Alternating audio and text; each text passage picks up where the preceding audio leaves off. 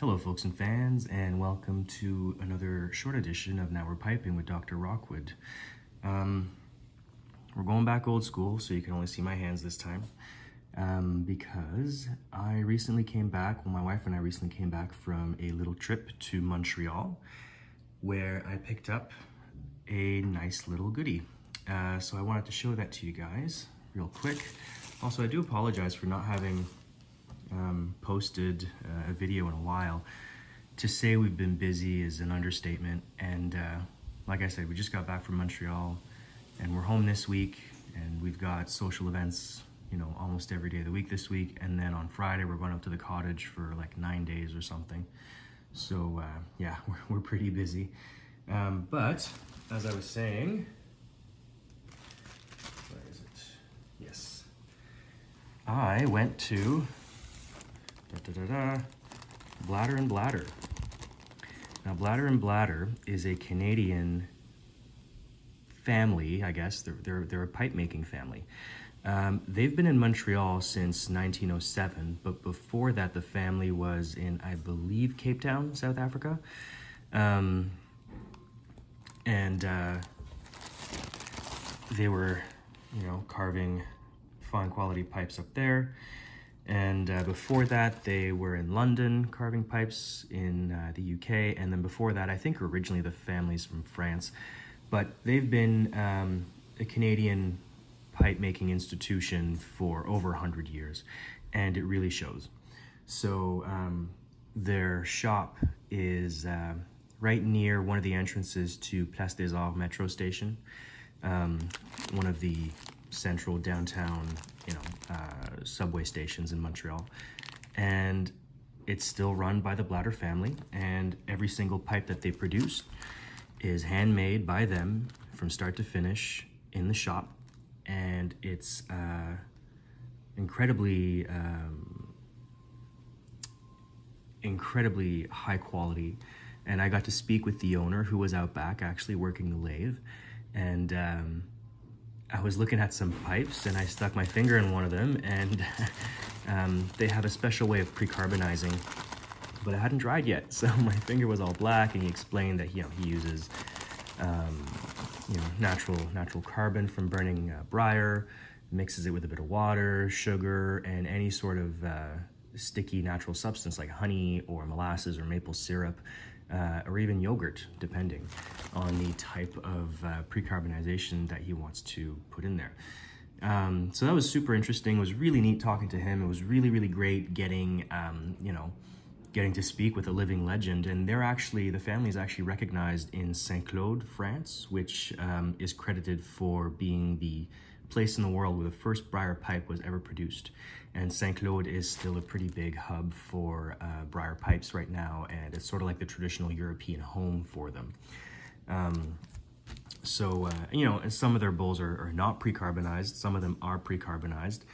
Um, but I was like a kid in a candy store. I couldn't, uh, you know, I, I couldn't stop myself from just running around all over the place, asking as many questions as I could. Um, they also um, they also blend their own tobaccos there. They have their own house blends of tobaccos. I really wanted to try the Danish slices, but uh,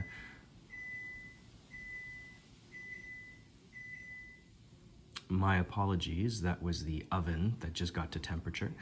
Uh, so sorry about that.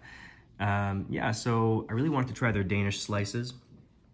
Um, that's one of their best known um, blends, but uh, I you know, I had set myself a budget and I just fell in love with this pipe that I want to share with you guys now. So I decided, you know what, I have enough tobaccos for now. I think I'll do a video showcasing all the tobaccos that I currently have on the go and also my measly, puny little cellar. Uh, so I figured, okay, you know what, I'll spend a little bit more on this pipe because it really, it called to me uh, and I'll get the tobacco next time. And also next time we're in Montreal, I'm hoping that I can maybe get some questions going and if they agree, then I would love to interview um, uh, Mr. Blatter and kind of post the interview up on this channel. So, you know, if that's something that you guys would like to see, then let me know. Um, but without further ado, so, oh yes, got a bunch of pipe cleaners. He just threw them in there when I bought the, the, the pipes. So, you know, quite uh, quite a common thing to do, but very generous nonetheless. Oh yes, okay, so here it is. So this is their little business card, and they're on President Kennedy Avenue, which is right downtown. So yes, they've been in, in uh, Montreal since 1907. Um, so nice little touch. And here it is.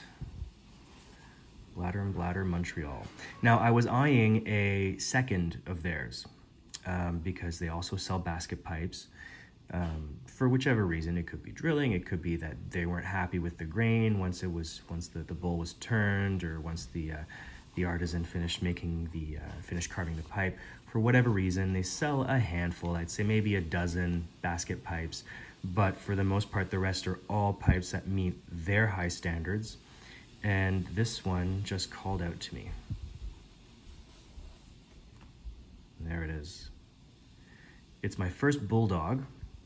I've never smoked a Bulldog before, but I was just so enthralled with this. I mean, look at this grain. It's lovely, isn't it? Look at that.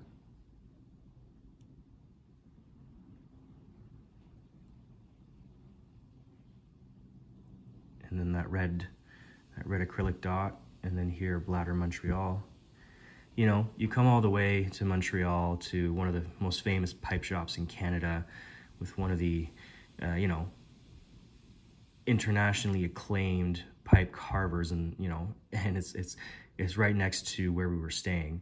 Uh, so I'm, I wasn't gonna get a second, you know, because it wasn't even stamped Blatter. Like I, you know, I decided to spend the extra money and actually treat myself to a true Blatter pipe. So here it is. I asked him, you know, do you guys ever do, uh, do you guys ever drill for a six or a nine mil filter? And he said, nope, never. so uh, um, I can get on board with uh, all of their pipes there because I don't smoke a filter. Um, but isn't that gorgeous?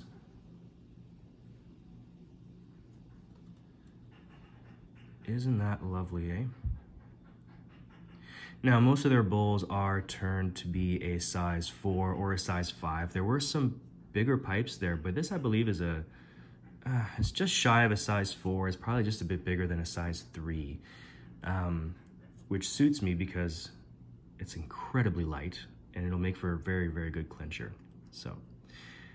Uh, so that's it. I just wanted to share my uh, my adventure at Blatter and Blatter with you guys. Um, hopefully next time we're in Montreal, um, Mr. Blatter will agree to a short little interview or give us a tour, excuse me, uh, give us a tour of the uh, storefront and maybe even, you know, the shop in the back. Um, it really is a beautiful store and it's a hole in the wall kind of place. It's just gorgeous. And you walk in there and all the smells, you smell the briar, you smell the tobaccos, you smell cigars. I don't know if they're actually smoking in there or not, but it did smell strongly of, uh, of you know, dark Cuban tobaccos, um, you know, just outside on the sidewalk. And then once you go inside, the smell kind of disappears a little bit. So it was odd. I couldn't tell where it was coming from, but I digress. Um, once again, thank you so much. And uh, don't forget, 150 sub giveaway. So I think we're about 40 subs shy, give or take, of hitting that 150 mark. And I'll be... Uh, I won't be giving away this pipe, that's for sure. This one, this one's all for me. Um, but I do plan on giving away a pipe. So uh, yeah, um, thanks very much for watching. I hope you enjoyed it. If you ever are in Montreal, check out Blatter and Blatter at 375 President Kennedy Avenue. And uh, if you want to pause the video, I guess, or take a screenshot of this thing, all of their info is there. I highly, highly recommend them. And I just cannot wait to begin my love affair with this pipe. So once again, thanks very much for watching. Uh, don't forget about the 150 sub GAW. And uh, yeah, have a good one. See you next time. Bye-bye.